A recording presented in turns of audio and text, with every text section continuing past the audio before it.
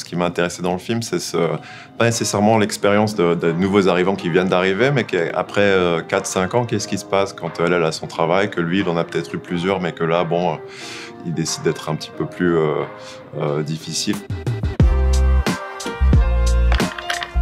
Je m'appelle Antoine Bourg, je suis cinéaste. Je suis originairement de France, mais je vis à Vancouver.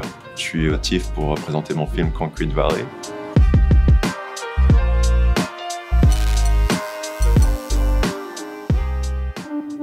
Concrete Valley, c'est peut-être un peu dans ma tête.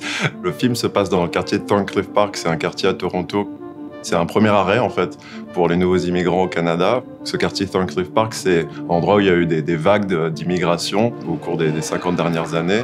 Dernièrement, des vagues euh, donc, du Moyen-Orient ou du Pakistan, mais avant, il y avait, c'était des Grecs, il y avait des Philippins. Donc c'est un quartier qui est très intéressant parce qu'il y a beaucoup de communautés différentes et beaucoup de gens qui sont des nouveaux arrivants très récents. Can I help? No thanks, I'm okay. Let me help. C'est vraiment ce qui m'a inspiré au, tout début. Et donc, c'était ce contraste entre tous ces immeubles en béton, forcément, et puis cette forêt vraiment très riche, très belle, avec des petites rivières dedans. Et il y a beaucoup d'histoires, notamment sur certaines communautés où, où, ce genre de paysage, ce genre de euh, de forêts n'existent pas, qui ont très peur en fait d'aller dans ces, euh, dans ces forêts. Puis ça symbolise aussi euh, un endroit où on peut s'échapper. Donc il y a, y a, quelque chose d'assez neutre et d'assez ambigu que j'aime bien. Et donc c'était ce mélange entre ces, entre ces deux lieux qui sont complètement collés que, que je trouvais assez intéressant. C'est un quartier assez agréable en fait, mais il y a aussi ce sentiment un petit peu d'être bloqué peut-être. Et j'ai associé ça avec l'histoire d'un couple qui était un peu bloqué, donc j'avais cette vague idée de mettre en parallèle ces deux choses-là.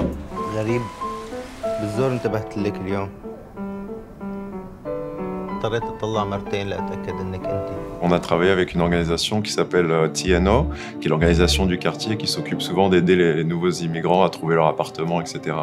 Donc eux nous ont beaucoup aidés.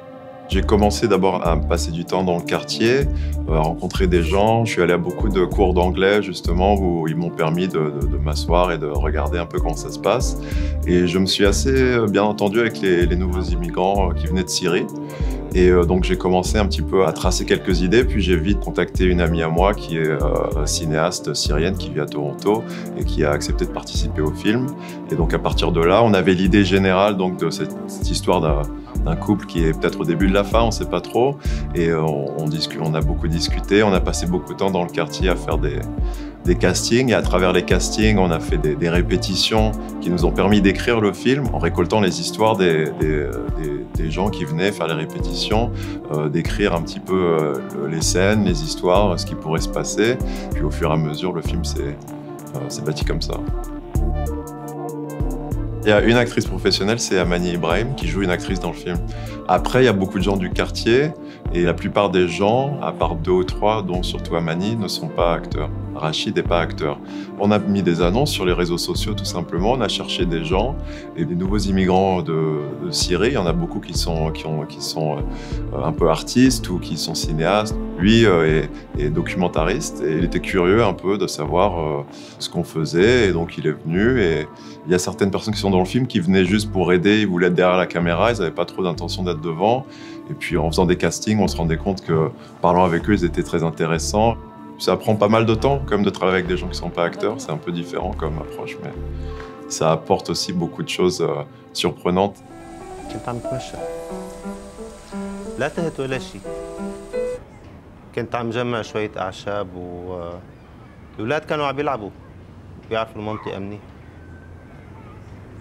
on se perçoit en partie à travers le regard des autres aussi, euh, le regard de la société. Et donc, euh, surtout à long terme, au bout de plusieurs années, je pense que euh, ce, sentiment d'identité qui change, ça aussi, ça change le regard de l'autre. Et dans le couple, le regard de l'autre, c'est très important. Antoine Bourges pour ONFR+.